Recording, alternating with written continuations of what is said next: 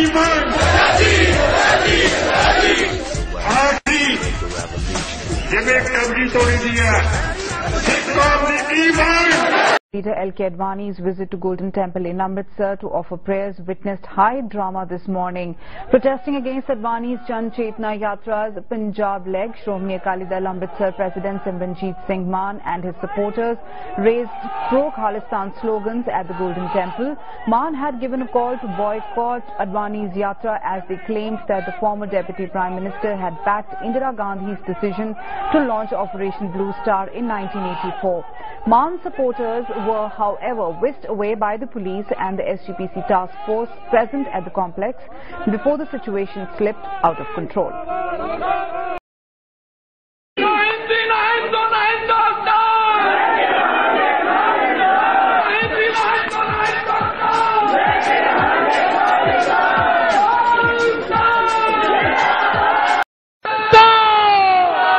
तुझी की